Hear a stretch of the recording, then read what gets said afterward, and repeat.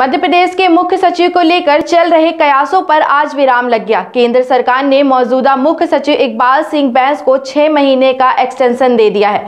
अब बैंस 31 मई तक बतौर चीफ सेक्रेटरी सेवाएँ देंगे। सीएस के लिए बैंस के अलावा केंद्रीय प्रतिनियुक्ति पर सेवाएँ दे रहे अनुराग जैन और ACS health and medical education Mohammad Suleman के नाम दौड़ में शामिल थे।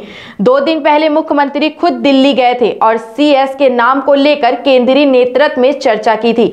आज बैंस के रिटायरमेंट वाले दिन को उनका कार्यालय छह महीने बढ़ाने का आदेश जारी हो पाया। बता दें, मध्य प्रदेश में अगले साल नवंबर 2023 में विधानसभा चुनाव भी होना है। बैंस मई 2023 तक सीएम रहेंगे। पंजाब में 13 नवंबर उन्नीस सौ बासठ को जिन्हें इकबाल सिंह बैंस ने इलेक्ट्रॉनिक्स में प्रथम श्रेणी में एजुकेशन किया है, भारतीय प्रशासनिक सेवा में चयन के बाद बैंस की पहली पोस्टिंग 21 जनवरी उन्नीस सौ तिरानबे को सीहोर में हुई थी। वे वहाँ नौ अगस्त उन्नीस तक पदस्थ रहे थे। इसके बाद उन्हें गुना का कलेक्टर बनाया गया। एक अगस्त उन्नीस सौ छियानवे को उन्हें भोपाल का कलेक्टर बनाया गया। भोपाल में उन्होंने विकास के साथ कानून व्यवस्था को दुरुस्त किया। इसके बाद एक अगस्त उन्नीस से एक जून 2000 तक चुनाव और law and justice department Madhya Pradesh में ज्वाइंट चीफ इलेक्ट्रोलर डायरेक्टर रहे। इकबाल सिंह की सबसे बड़ी खासियत ये है कि वे अपने दायित्वों के प्रति सजग अधिकारी हैं।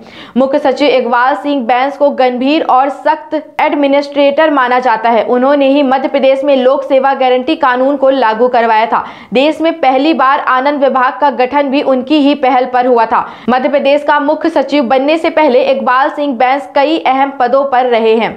कृषि, उद्यानिकी, ऊर्जा कृषि, उद्यानिकी, ऊर्जा विनानन, आबकारी आयुक्त, पंचायत एवं ग्रामीण विकास सांसदीय कार्य जैसे विभागों में काम कर चुके हैं।